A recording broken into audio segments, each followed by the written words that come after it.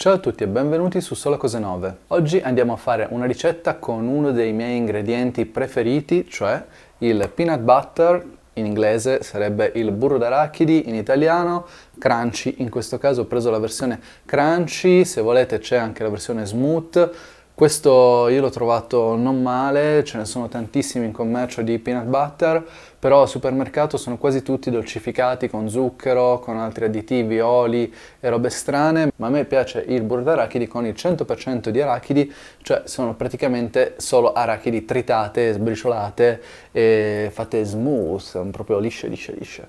In questo caso non liscissime, c'è qualche pezzettino dentro che fa crunch ed è la cosa che mi piace di più. Voglio fare un dolce, ho voglia di dolcetti, non ho in casa la tahine per fare l'alba come abbiamo fatto l'altra volta, avevo voglia di una roba del genere, quindi andiamo a fare un fudge con il peanut butter, in questo caso crunchy. Questi prodotti qua io ve li metto tutti qua sotto in descrizione, se volete potete trovarli lì, se no comprateli dal vostro negoziante di fiducia se ce li ha. Questa ricetta è semplicissima, ci vogliono solo 4 ingredienti, il primo è lo zucchero, zucchero, prendiamo 250 g di zucchero, 50 ml di latte, più è grasso meglio è, c'è qualcuno che in questa ricetta utilizza addirittura la panna, se volete utilizzare il latte intero va benissimo, io in questo caso utilizzo il parzialmente scremato ma verrà bene lo stesso. Ho preso 3 cucchiai di burro d'arachidi, belli colmi, sono più o meno 250 g di burro d'arachidi che è all'incirca la stessa misura del nostro zucchero. Ultima cosa, un po' a piacere, se volete, se vi piace, un estratto di vaniglia. In questo caso ho un estratto fatto in casa,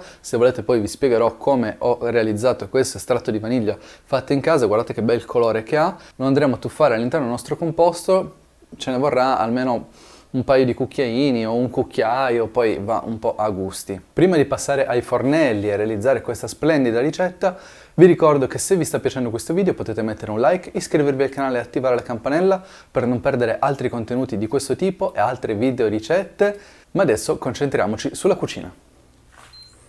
Andiamo a scaldare i nostri 50 ml di latte, aggiungiamo i nostri 250 g di zucchero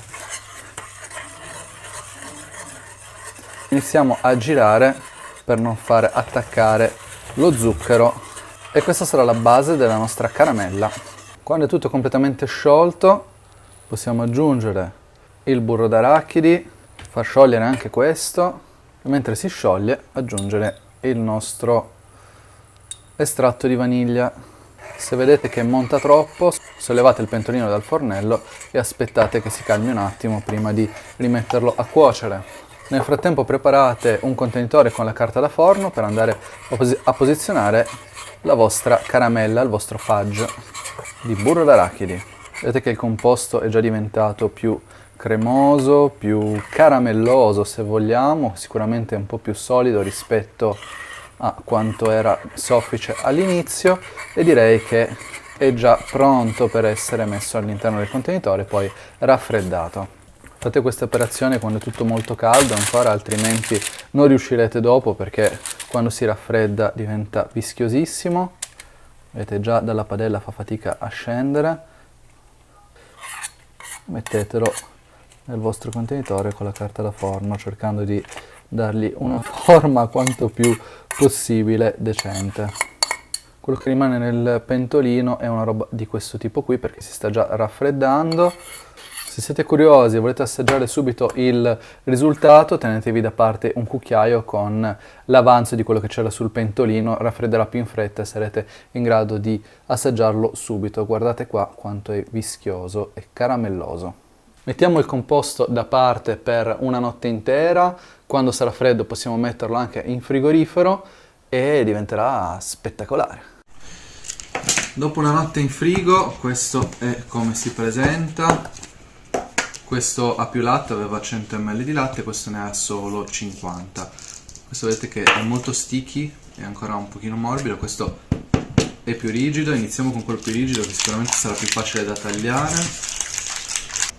E questo è il risultato, è ancora molto molto chewy molto colloso, si può quasi prendere al cucchiaio ma andiamo ad assaggiarlo e vediamo com'è un pezzo un po' più piccolo perché altrimenti poi la glicemia scatta Mm. Buono. Un po' colloso ma buono. Sicuramente quello con 100 ml ne ha è ancora troppo morbido ed è, diventa un dolce al cucchiaio. Già questo è ancora morbido, ma veramente buono e addictive. Io adesso me lo mangio e ci vediamo domani per un nuovo entusiasmante video. Ciao!